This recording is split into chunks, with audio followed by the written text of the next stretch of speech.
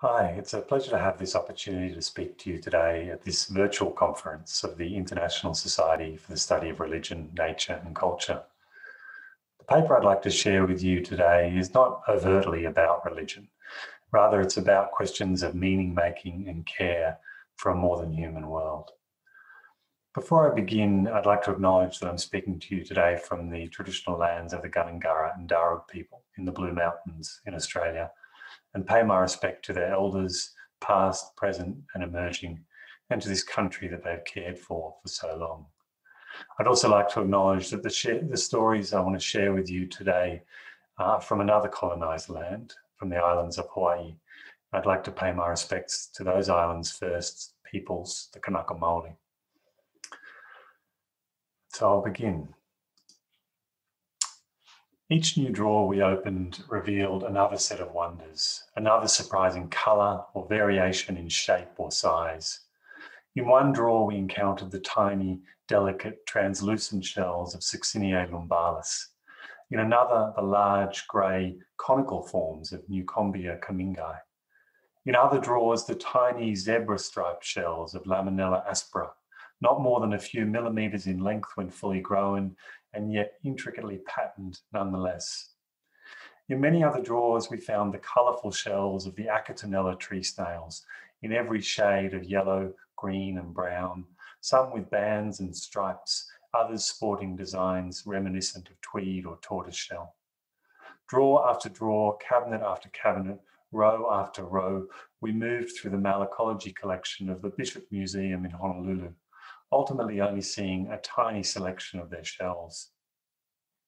I have to admit that I didn't really know what I was looking at. I had then and still have now nothing like the trained eye of a taxonomist honed to the craft of identifying and categorizing species. The longer I spent staring at this diversity of land snail shells, the more convinced I became that I lacked almost entirely the ability to discern the subtle differences of form that matter to the experts in telling apart two closely related species. But there was also something oddly meditative about spending time amongst the shells, moving my eyes from one group to the next, drinking in the differences I could discern, and not worrying too much about those that eluded me. My guide was Nori Yeung, manager of this incredible repository of over 6 million snail shells from all over Hawaii and the broader Pacific region. I'd asked Nori to show me the collection and tell me about its history and significance. In particular, I wanted to speak to her about her taxonomic research, an effort to create a comprehensive inventory of snail life in the Hawaiian Islands.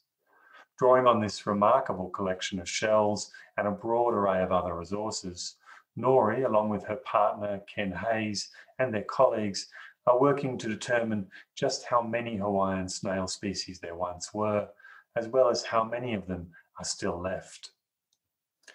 It's not well known that amongst its many biological richness, riches, sorry, Hawaii is a land of snails. While snails can be found all over the world, indeed they inhabit every continent and island archipelago outside the Arctic, very few other places supported anything like the variety found in this particular island chain. To date, 754 species of Hawaiian land snails have been officially described.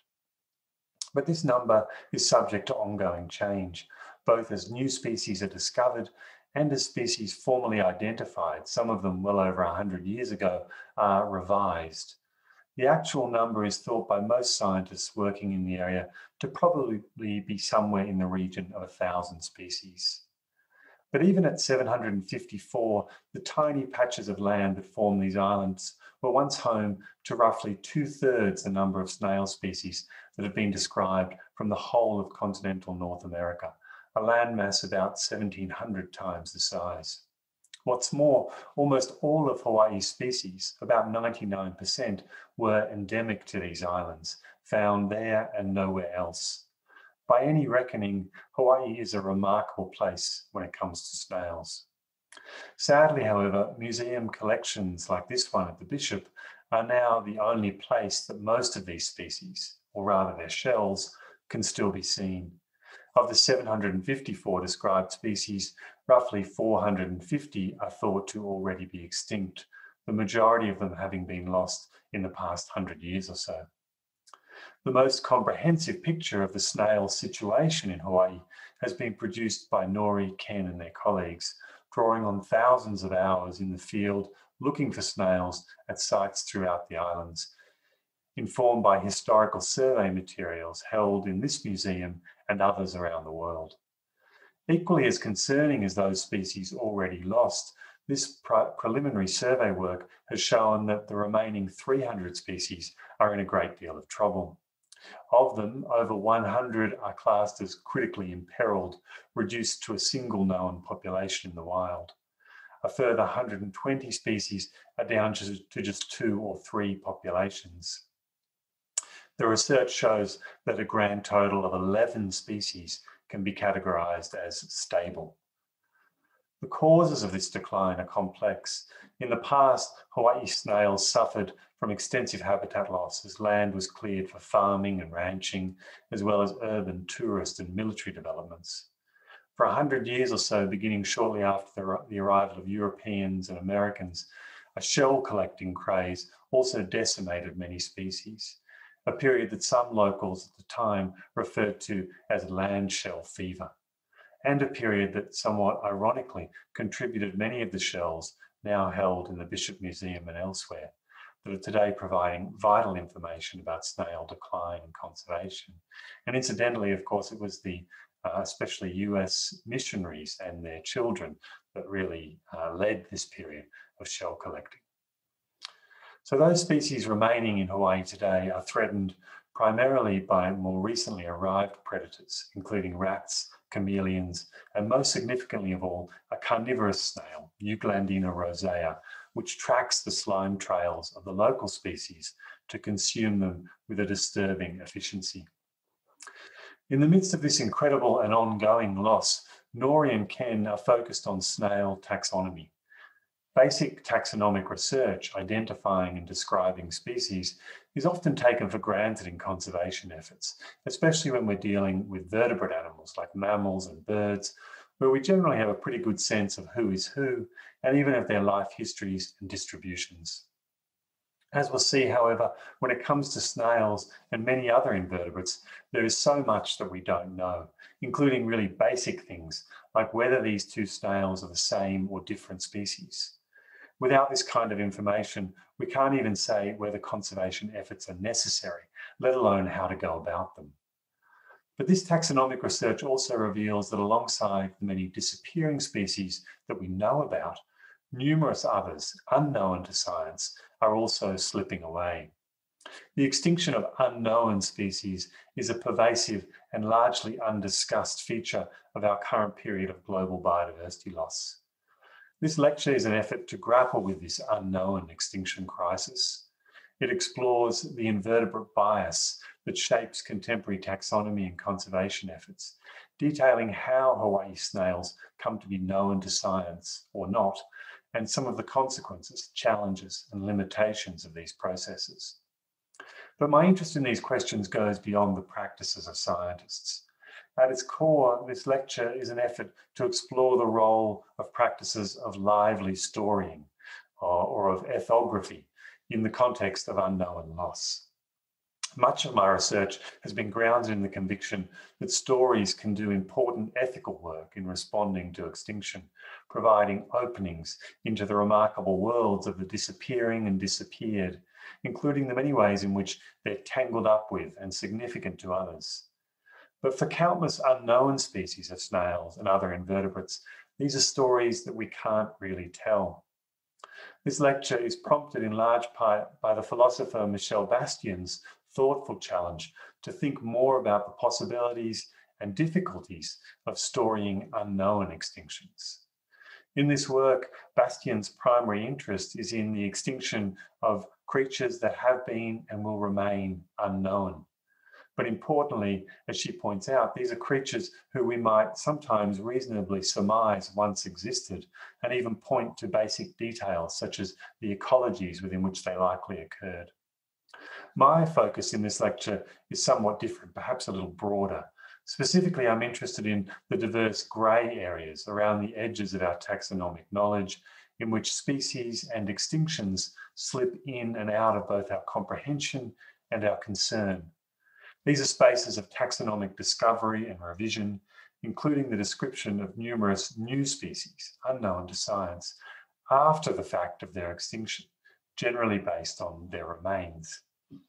As Rick DeVos has explored, the borders demarcating what will and won't count as a legitimate species, borders that shift with taxonomic practices, albeit with some taxa more than others, play vital roles in determining which individuals' lives and ways of living, and by extension, which absences come to matter in our accounts.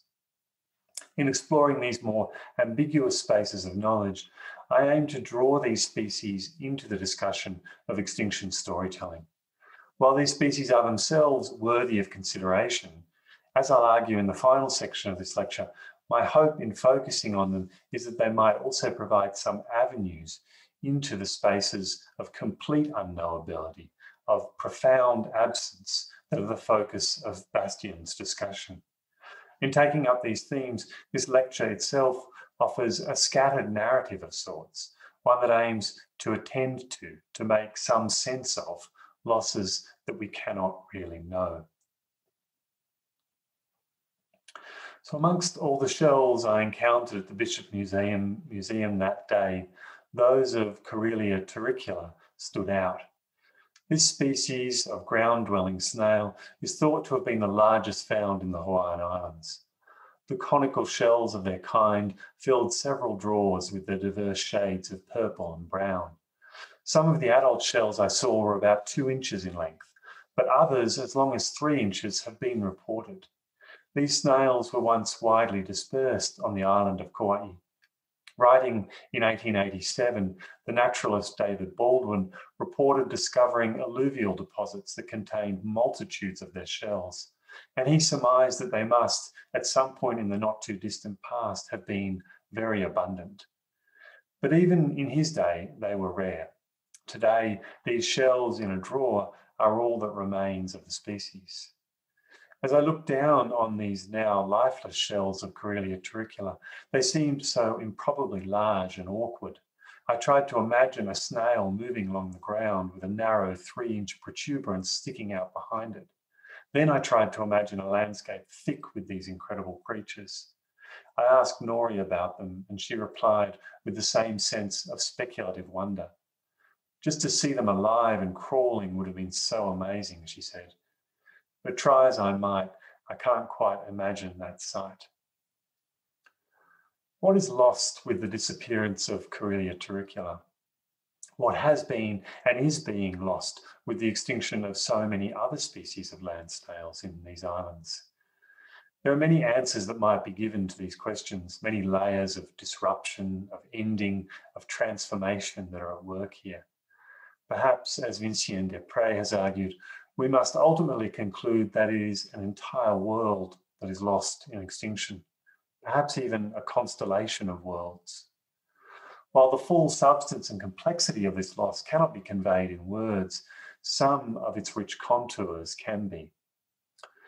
To appreciate the significance of Hawaii snails, it might make sense to start with the question of where this incredible diversity of gastropods came from. Land snails, after all, are not known for their propensity to undertake long journeys, not by land and certainly not by sea.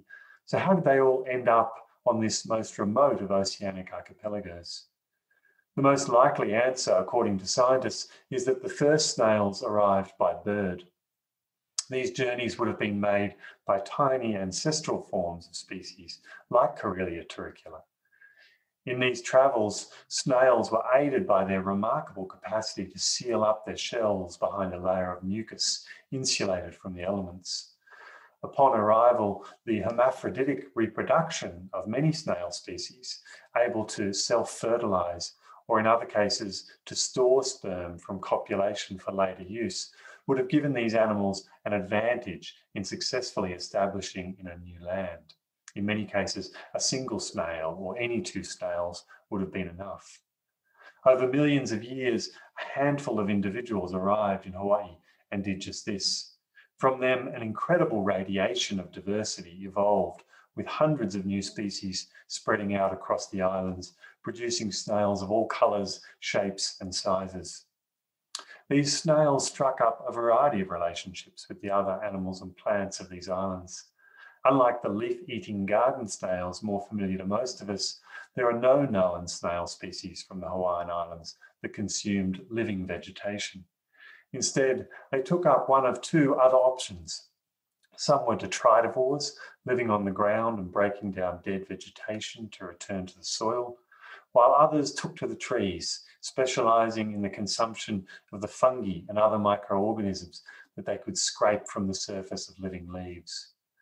While we cannot know for certain what ecological significance these activities might have had in ancient forests, it seems likely that some of these snails played an important role in maintaining the island's soils, while more speculatively, it's been suggested that the leaf cleaners may have helped to limit the spread of pathogenic surface microbes that can harm plants. With the arrival of Polynesian people in these islands about 1500 years ago, snails entered into a new set of relationships. In varied ways, they wove their way into the lives and cultures of these islands' first people, the Kanaka Maoli. Snails often appear in traditional mo'olelo and oli and stories and chants. When they do, without doubt, the most consistent theme is that of their singing in the forest at night. But snails aren't said to sing at any old time. Rather, their singing is said to be deeply meaningful, often occurring as a sign that after a series of adventures, changes, or turbulence, all is pono again, all is righteous, correct, and good. In past work, often in collaboration with the late Deborah Bird Rose, I've advocated for the importance of storytelling in responding to extinctions like these. Debbie and I have argued for lively ethnographies, stories that allow us to thicken the presence of these beings at the edge of extinction, to add flesh to the bones of the dead and dying. As we learn about snail biogeography and evolution, about their reproductive and other behaviours, these creatures become something more than another Latin binomial on a long list. They emerge as distinctive ways of life. At the same time, these kinds of stories are also able to draw out how these particular ways of life mattered for others. That as they disappear, they unravel whole constellations of relationships that cut across any simple division between nature and culture, humans and environment. In the case of Hawaii snails, diverse trees, soils, birds, and humans have been drawn into this process of loss in ways that I have only been able just to touch on here. So we've called these complex, multifaceted consequences of extinction its entangled significance. In storying particular species losses in this way, we've worked to highlight the fact that there is no singular extinction phenomenon. Each species lost is its own unique happening. In fact, we've aimed to particularize the process of extinction even more than this, insisting that for any given extinction, there is no singular meaning or experience. By layering together multiple voices and histories, extinction stories aim to draw out the very different and often unequal ways in which extinctions come to shape the contours of local lives and landscapes. But more than simply recounting this complexity, we've argued that stories offer a particularly rich mode of grappling with it, that storytelling is or can be a fundamentally ethical work. The kinds of extinction stories we've advocated for have emphasized the importance of allowing multiple meanings to travel alongside one another, holding open possibilities and interpretations, and refusing the kind of closure that prevents others from speaking or becoming.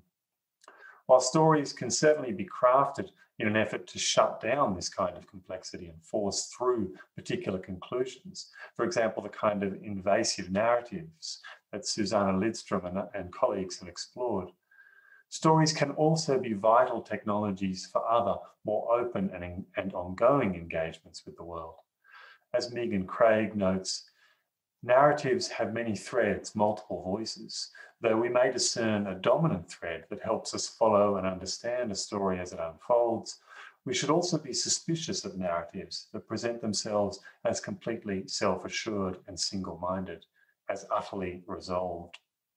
It's this capacity of storytelling to summon up a thicker sense of the diverse, overlapping, and sometimes or often conflicting meanings and consequences of extinction that we have found so ethically productive in our work. Grounded in established critiques of ethics as a calculable and generalizable domain, we've worked to hold open questions of what or who matters and why, to relentlessly ask with others, what does this loss mean, for whom, and what else is possible here? In this context, storytelling is an effort to draw ever more voices and perspectives into the discussion, to attend to the situated complexity of this extinction, this encounter, and in so doing, to craft a response, albeit one that is necessarily partial, contestable, and open to revision. As Isabel Stengers has put it, what you are responsible for is paying attention as best you can, to be as discerning, as discriminating as you can about the particular situation. That is, you need to decide in this particular case and not to obey the power of some more general reason. So there's an important role for more generalizing approaches, though, to animal, environmental, and intrahuman ethics in cultivating our capacities to be discerning and discriminating in particular cases. Asking, for example, why and how some individuals or species have value or might be harmed. But within an extinction story, these general generalizing approaches cannot simply be applied. They must be stretched, brought into dialogue, redone, or even undone in the particular context of this extinction. In short, we've argued for an emergent ethics, not an applied one. This kind of storytelling demands an engagement with an empirical context that can surprise, demand, twist what we thought we knew about what mattered about the world. Here, theorizing becomes inseparable from the work of description. It becomes, as Donna Haraway has put it, a theory that takes the form of an effort to redescribe something so that it becomes thicker than it first seems, an effort to weave the world together differently in new ways to produce alternative understandings and so possibilities. In taking up such an approach, we work to unsettle the power of more abstract theorizing, allowing the wider world to push back, in Stengers' words, giving the issue the power to oblige us to think. In an important sense, my focus in this lecture on unknown extinctions was determined by snails in just this way.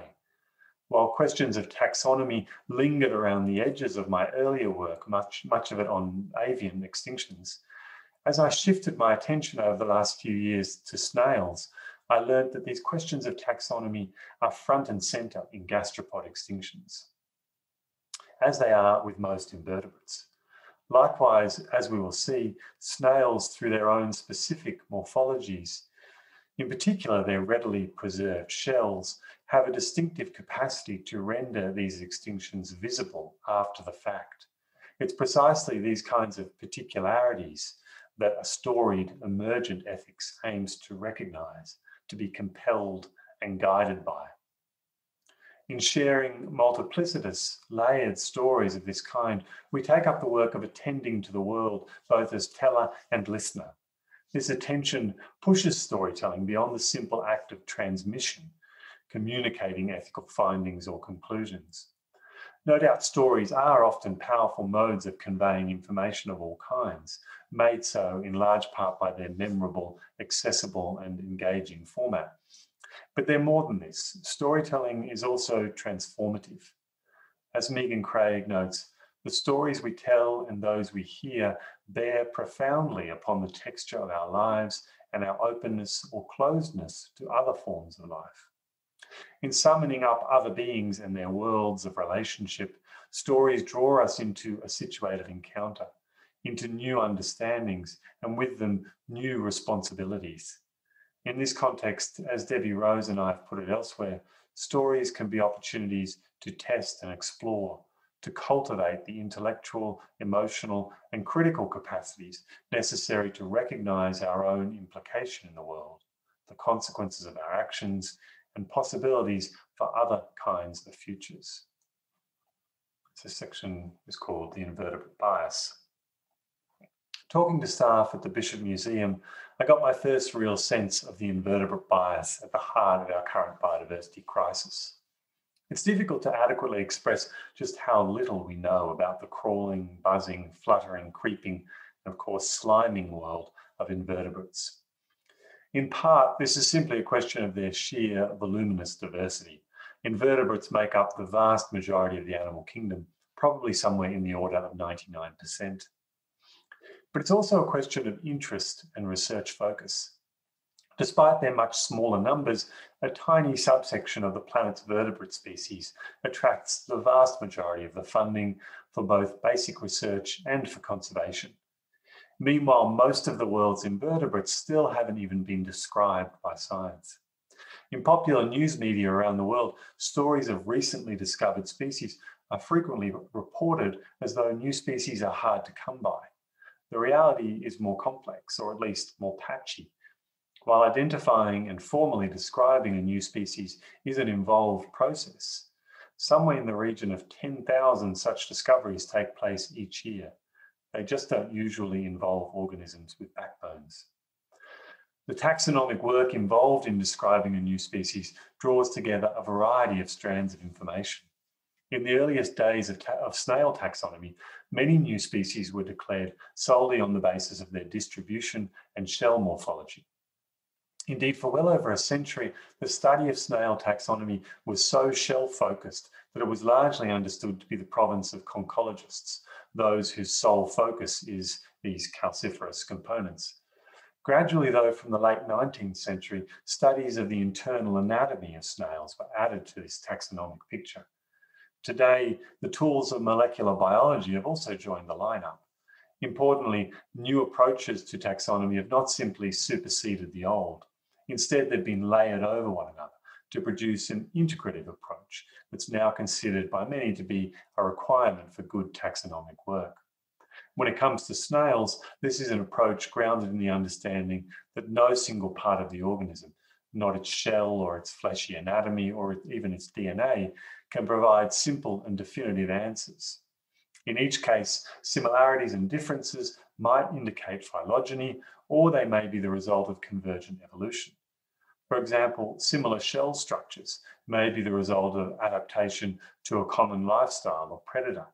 Consider, for example, the very similar yet unrelated shells of Hawaii's Achatinella snails and those of, uh, of the Liguus snails of Florida. Two groups of tree snails whose shells seem to have converged on roughly the same form as a result of their similar lifestyles. Genetic similarities, Ken and Nori explained to me, might be produced in the same way. If, for example, you're looking at the genes associated with temperature tolerance, they might accumulate mutations in a way that makes two species that have undergone similar selection pressures look more related phylogenetically than they actually are. Examining multiple gene sequences can help to address this issue, but it can't overcome it altogether. When a new species is discovered, uh, it formally enters the space of scientific knowledge through the act of being described in a published article. This practice dates back to the 18th century Swedish botanist Carl Linnaeus and the birth of modern taxonomy. But over the centuries, it's been increasingly formalized. It was Linnaeus who defined and popularized the system of binomial nomenclature whereby each species is given a two-part Latin-esque name that includes its genus and species name. And in so doing, Linnaeus began a more unified effort to name and order the great Systema Naturae. But despite centuries of taxonomic work since Linnaeus, a great deal remains to be done. We don't have any hard numbers to rely on here. We don't know how many species there are on the planet, nor do we even know precisely how many of them have already been described because there is no single master list that we can consult. While estimates vary considerably, some reasonable working figures are that taxonomists have identified somewhere in the region of 1.75 million of the roughly 10 million species of plants, animals, and fungi that we share this planet with. This leaves about 8 million unknown species about 80% of those thought to exist, the majority of which are thought to be invertebrates, especially insects. So these unknown species are not simply a puzzle for curious taxonomists. In our present time, a period that many are now describing as the sixth mass extinction event since complex life evolved on this planet, countless species that have never quite managed to appear to us or to appear to science in the first place are disappearing forever. The fact that science has not yet described a species does not afford it any kind of special protection from extinction. Instead, there's every reason to believe that these unknown species are being lost at least as quickly as those that we do know about. In fact, most scientists who have spent time thinking about how to make sense of the level of extinction amongst unknown species have reached the conclusion that, if anything, they're likely to be disappearing more quickly than the species we do know about. But even amongst those invertebrates that have been described, there is a readily discernible bias in what we know about them. Importantly, most of these species lack the data to allow their conservation status to be assessed. One recent study found that while the conservation status of 90% of the mammals, birds, and amphibians had been evaluated, amongst the described mollusks, the figure was 3%, snails and mollusks. Uh, and, snail and mollusks are one of the better studied invertebrate groups, with the figure for insects being closer to 0.08. This means, as Nori summed it up for me, the conservation status of fewer than 1% of the world's invertebrate species has been assessed. For all of the others, we just don't know enough to say how they're doing.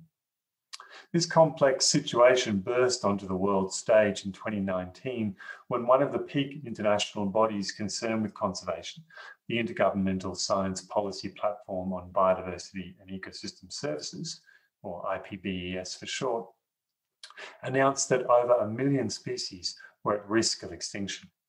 Skeptics immediately jumped on this number of a million species and argued that the most comprehensive international list of threatened species, the IUCN Red List, at the time included only about 28,000 species, threatened species. The very significant gap between these two numbers, 28,000 and a million, is precisely what is at issue here. The red list figure includes only those threatened species that have not only been described by science, but have also been the subject of detailed ongoing studies to assess their conservation status. In contrast, the IPBES estimate of a million threatened species was based on mathematical modelling in an effort to take account of the many, many species that we know little to nothing about, the vast majority of which we don't even have names for. As Ken explained to me, snails and other invertebrates present conservationists with a really difficult situation here. As he put it, we don't know how to save them because we can't even name most of them. We don't even have a name for them. We don't know if that's the same species as this one here. And if we can't name it, we can't tell you anything about its biology. We can't tell you how many offspring it has per year. We don't know how it mates. We don't know what it eats. We know almost nothing about them. The designation and naming of a species is an essential part of the work of care as is practiced in contemporary biodiversity conservation. As Joshua Trey Barnett has noted, taxonomic work brings species into the world in some sense as distinct concrete entities. In his words, the act of naming delivers species, which strictly speaking cannot be observed, over to us as something we can consciously consider, think about, write on, and care for. In this sense, taxonomic names are the condition of the possibility for the continuing care of a species, a vital precondition both for the kind of basic research that Ken's describing, as well as for the allocation of conservation funding under species-centric regimes like the US Endangered Species Act that now dominate conservation efforts in many parts of the world. And I should note here as an aside um, that I don't deal, as you may have noticed in this lecture, with other forms of, um, of taxonomic naming, with uh, indigenous systems and, and other forms of dividing up and naming um, the modern human world. Uh, that's the topic I take up in detail in another part of this book that I'm writing on Hawaii snails. But in this particular paper, in this chapter, uh, I'm focused really on this question of scientific taxonomy as a particularly um, detailed, interesting, and highly consequential mode of dividing up uh, and naming the world.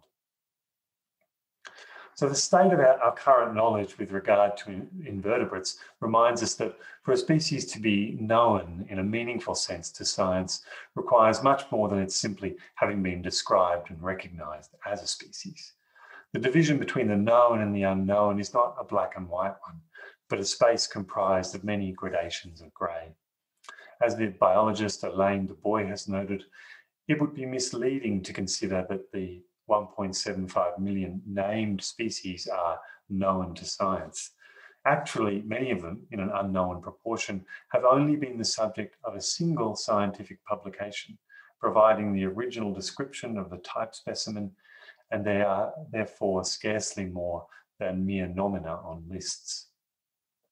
So taxonomy takes on a very particular form when it comes to many of these invertebrate groups, like Hawaii snails, that are highly diverse and relatively understudied, but also rapidly disappearing. In contrast to birds and mammals, where almost all species are thought to be described, snails and many other invertebrates are in the midst of ongoing discovery and revision.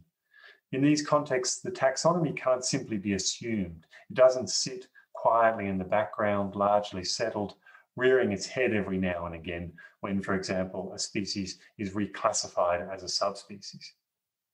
Instead, for snails and many other invertebrates, taxonomic work takes place within the ongoing folds of conservation efforts. It is, as Ken put it to me, a practice of triage taxonomy, identifying species in an effort to save them, focusing on groups that there's still time to help, and then describing them with as much useful information as possible so that they might be added to the lists of those in need and perhaps one day even officially listed as threatened. Traces of an unknown extinction crisis. Not all of the snail shells held at the Bishop Museum are to be found in the Malacology collection's carefully organised and labelled cabinets. In dark corners and cupboards, other shells are waiting. Some of them, Nori told me, were collected over 100 years ago. Some were donated by private collectors. Others were gathered on museum expeditions. Either way, they arrived without the time or resources to adequately catalogue them. These shells now sit in cardboard boxes, old mason jars, and an assortment of other containers. Importantly, there are without doubt numerous new species unknown to science waiting to be described amongst these shells. We should expect, however, that when and if these species are one day described, most of them will already be extinct when this happens. Their shells will serve only as an announcement of a loss that took place at a time that it was not known. Indeed, over roughly the last decade or so, a number of concrete examples have emerged of recent snail extinctions previously unknown of previously unknown species. Some of these species have been discovered through specimens in museum collections. Others have been discovered as shells deposited in the landscape. In one recent study, nine new species from the Gambier Islands of French Polynesia were discovered. Shells from all of them had been collected in the 1930s and had sat undescribed within the Bishop Museum by the time they were described, however, follow-up surveys could find no trace of them in the environment. It's hard to make sense of these unknown extinctions of species that are discovered already lost. A species bursts into existence ready to be named, described, and hopefully admired, but at the same time, it's already a former species, a lingering remnant like a shell, the only record of its having lived at all. We can make intuitive sense, I think, of this when it happens, when it involves the discoveries of fossils, Brontosaurus and mammoths that roamed the earth long before our time. But it's somehow a more unsettling prospect when these unknown losses become contemporary companions. As odd though as the phenomenon of unknown extinctions may seem, it turns out to actually be the norm, indeed overwhelmingly so. When you think about it, how could things be otherwise? There are thought to be roughly five times as many undescribed species as there are described ones. And as noted above, there's no reason to think that these unknown species are being spared the impacts of our current period of mass extinction. We're living in the midst of an extinction crisis that's stripping innumerable species out of the world before we've even realized they're here. The incredible loss of diverse plants and animals that we do know about, that we can name, that we can make some partial sense of, is only one side of the coin. While there is, without doubt, much that remains unseen, even actively ignored about all of the species that are being lost today, it's vital, I think, that we appreciate that there's something else, something different going on here as well. An unknown extinction crisis that is at once both larger and more thoroughly beyond the scope of our comprehension. What's unique then about stories of snails that went extinct before discovery is not this fact in itself, but rather that their existence and their extinction has come to be known about at all. In most cases, when the last of a species dies, especially an invertebrate species, all record of it vanishes with these individuals. From the diverse ecologies of soil biota that have likely disappeared with changes in agriculture that have pumped more and more synthetic chemicals into our soils, and the diverse species and communities of stygofauna that have been lost to mining and other extractive impacts on groundwater systems. Through to the complex communities of specialists that once fed on the whale carcasses that fell to the deep sea floor before commercial whaling led to the removal to their removal from the oceans. In all of these and many other examples within recorded history, numerous species in various ecosystems have no doubt disappeared without a trace. But snails have a particular advantage over many other invertebrates, over many other species when it comes to being discovered post-extinction. Unlike the majority of other invertebrates whose soft bodies mean that they frequently leave no earthly trace, snails possess a remarkable calciferous remainder. In their shells, they leave behind a record of their presence, even if a thoroughly imperfect and incomplete one. While I noted a moment ago um, taxonomists these days prefer to look at a variety of other factors in addition to shell morphology. When the shells of a snail are all that's left, it's still often possible, albeit slower and more difficult, to describe species in this way. A snail shell is a miraculous thing. For hundreds of millions of years, snails have been wandering the planet, its oceans, rivers, and lands, their fleshy, porous bodies protected by these sturdy calcium carbonate structures. These shells provide a record of a life. The apex or innermost point of the spiral is the oldest part of any shell. When a terrestrial snail is hatched or born, it begins life with this tiny shell. As it grows, it secretes calcium carbonate and other chemicals from its mantle to build up around the aperture and incrementally extend the outermost whorl of the shell. Unlike arthropods and other invertebrates that have an exoskeleton that has to be shed to allow growth, snails have evolved protection that can expand or grow with them, never requiring a period of vulnerable exposure. Albeit uh, a solution, if you like, that consumes as much as half of the energy that they invest in their growth. If you allow your eyes to trace that spiraling pattern of a snail's shell outwards from apex to aperture, you're retracing the life history of this tiny being condensed into a solid form. In a variety of ways, these shells can be read to provide information about the lives they once contained. The thickness of a snail's shell can vary greatly depending on the nutrition available in the environment, while periods of life in which growth ceased altogether can be marked with a little scar called a varix, a scar that offers a record of the conditions experienced by an individual at a given point in time. At a much longer temporal scale, shells also record some of the features of the life of a species, with specific adaptations reflecting things like the habitat they occupied, their dietary specializations, and the predators they lived amongst. For those who are able to read them, shells can not only announce the former presence of a now extinct species, they can also provide us with some important glimpses into its former existence. To be sure, other creatures can also leave important traces after extinction. With the aid of climate controlled museums, even the tiniest and most fragile species are now sometimes able to be discovered long after they've disappeared. perhaps a butterfly pinned to a board, or a sample of leaves and flowers pressed between pages. In this regard, the plants and animals that fascinated the collectors of the past, including Hawaii's larger, more colourful snails, are the ones whose unknown extinctions are most likely not to remain that way.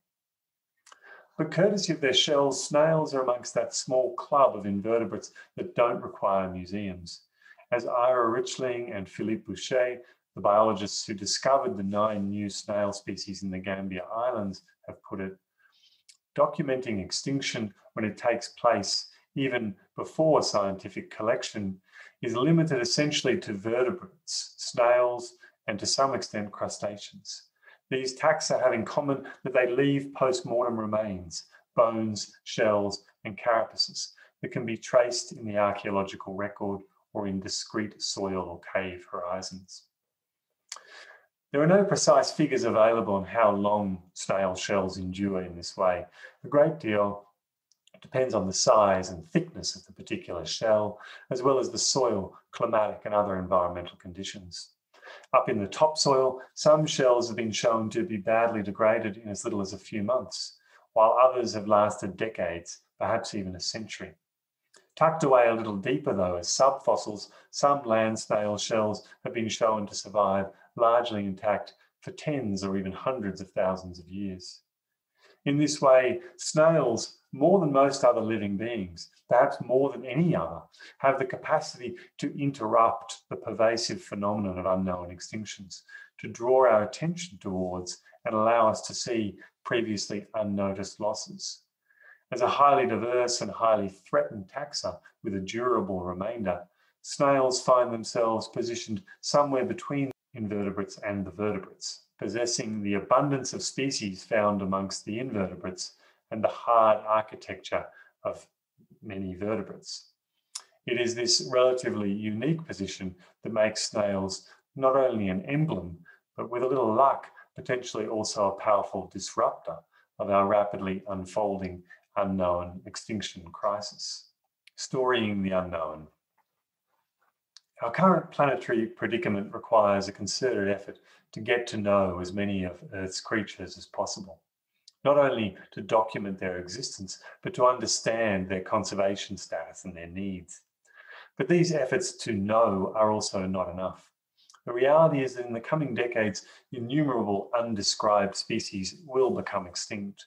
We simply will not be able to describe them, let alone produce meaningful knowledge about them in time amidst a long list of other difficult insights that Ken shared with me in our conversations, one of the most sobering was that at the current rate of taxonomic progress, it'll take roughly another 500 years to describe all of the world's invertebrates. At current rates of extinction, hundreds of thousands, perhaps millions more of them will be gone by then. How might we learn to appreciate, to care for, and perhaps even to conserve these unknown others? One obvious response is that we need to move away from, or at least supplement, species centric approaches to conservation, with an emphasis on protecting and perhaps restoring whole ecosystems, which involve many more players and processes than we can possibly account for. There's an ongoing discussion taking place in conservation biology and the environmental humanities and other related fields about this balance, including the extent to which charismatic umbrella species might actually enable the conservation of whole ecosystems, such that, as uh, Jean-Christophe Vié, the deputy head of the IUCN Species Program, has suggested, these two approaches, conserving endangered species and conserving ecosystems, might in effect be doing the same thing but with different packaging, in his words. This is a complex topic that cannot be pursued here. It seems important to note, however, that if we want to be able to determine whether ecosystem level conservation programs are working for species, then we'll need a good sense of who actually inhabits these places and how our actions are impacting on them. And so there will ultimately be no getting away from the necessity of taxonomic research.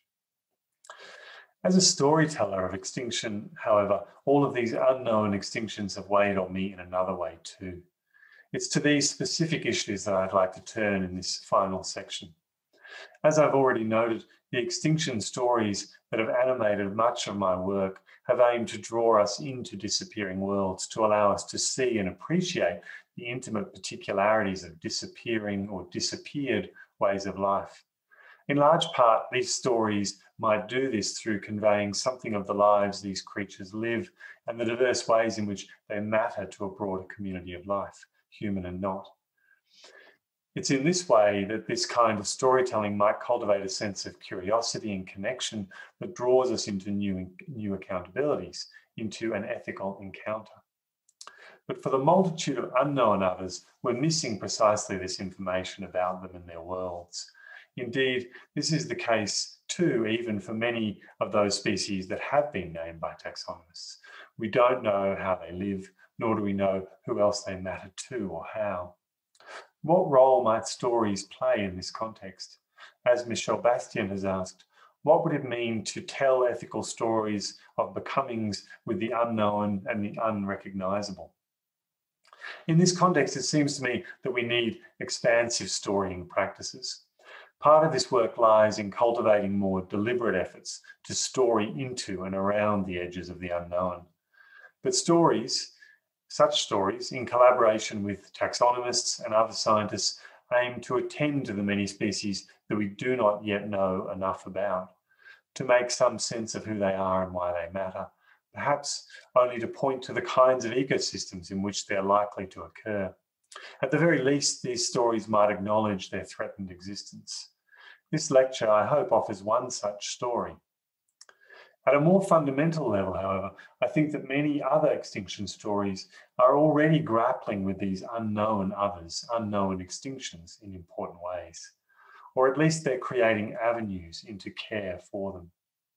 Importantly, in this regard, I do not see our lack of physical proximity, the impossibility of a face to face encounter with these unknown others, to be a significant barrier to our entering into and indeed drawing others into an ethical encounter. Far more significant for these storying practices, I think, is the need for some sort of meaningful knowledge about or in relation to these others. But here, I think that in practice, there might be more flexibility, diversity, and breadth in the forms this knowledge can take and what we can do with it than has always been made explicit in my own and others' accounts. In this regard, I'd like to suggest that there are three key ways in which the kind of extinction stories I've described in this lecture are attempting to do an expansive storying that is about much more than the particular species that reside at their centres. Whole worlds spiral out from these storied cores. In the first instance, many extinction stories, I think, seek to account for and hold on to both the connectivities and the uncertainties that pervade the living world and our knowledge of it. These stories begin with snails or other creatures, but they aim to draw us out from there, perhaps into an appreciation of the uniqueness of the particular landscape and ecosystem, or into a discussion of deep cultural relationships with local people. These tales can only ever capture a small part of what is significant about specific others. In some cases, this is a product of a lack of knowledge. For example, we just don't know in what ways and to what extent Hawaiian snails mattered to the soils and trees of the forests. While we can speculate, much will escape our knowing. In this way, these stories are always already stories about and for a host of others, known and unknown. They help us to appreciate that nothing comes without its world, to quote Maria Puig de and that to care for a species is to be drawn into, to become accountable for a diverse web of lives and relationships. Beyond these embodied connectivities, though, I think the particular stories that we tell are also openings in other ways. Life is not without its patterns of similarity and difference. Learning to appreciate the intricacies of a Carelia turricula shell is in many ways at least a transferable skill. It enables us to see and understand the shells of other snail species in new ways, perhaps through a consideration of differences of function or formation. It might also draw us into a consideration of everything from the exoskeletons of insects to the slowly accreted calciferous tusks of an elephant. Likewise, understanding other facets of snail life and behaviour might attune us in new ways to the wonders of diverse modes of inhabiting and experiencing the world beyond our own capacities and proclivities. Countless other unknown species likely share some of these features in their own distinctive ways.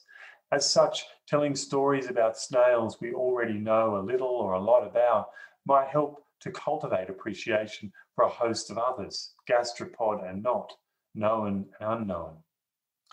Taken together, I think these two openings produce a third. They help us to see that learning to appreciate a particular snail species in a particular place can never be an isolated act. The aim of telling this kind of story is not to add yet another snail species or even a handful of species to the list of extinctions we now know and care about nor would it be simply to add Hawaiian forest ecologies or all snails to such a list. Rather, the work of Extinction Stories is to draw us into an expansive space of responsibility, to contribute to a broader reorientation of thought and action in our relationships with our living world. In short, the work of telling extinction stories is not cumulative but transformative not about creating a growing inventory of concern that might in some strange way mirror the efforts of taxonomists, but rather about cultivating an opening. It's about learning to see the world differently, learning to appreciate differently, and ultimately about becoming ourselves different in the process. In all three of these ways, relational connectivities, patterned similarities, and ethical transformation, Extinction stories, I think, reach out beyond the particular species whose lives they recount to draw us into responsibility and care for others, both known and unknown. To some extent, I think that this expansive storying is already at the heart of the extinction stories that Debbie Rose and I and others have aimed to tell. Like many things, however, our practice benefits from careful attention, from the effort to make explicit what we do and why, and will benefit more still from efforts to direct attention towards the countless unknown others disappearing around us. In this way, our extinction stories might also add some limited speculative contour to the undifferentiated mass of the unknown that Michelle Bastian has described that's disappearing around us. Returning to those drawers full of shells in the Bishop Museum, I'm more convinced than ever of both the importance of getting to know this diversity intimately and of the need for modes of appreciation and storying that exceed our direct knowing. Years after my first encounter with these shells, I find myself not much better equipped as a taxonomist, albeit with a much greater appreciation of some of the many things that I do not know enough about. While working to know more matters profoundly, it challenges us and expands our capacity to care for, to conserve, and ultimately to live well with others. In this era of escalating loss, our knowledge cannot mark the limits of our care. In addition, we need to find new, expansive ways to make sense, to make connections into the vast and threatened worlds of all those incredible beings that are buzzing, crawling, whirling, and yes, sliming around us, unseen and unappreciated. Thank you very much.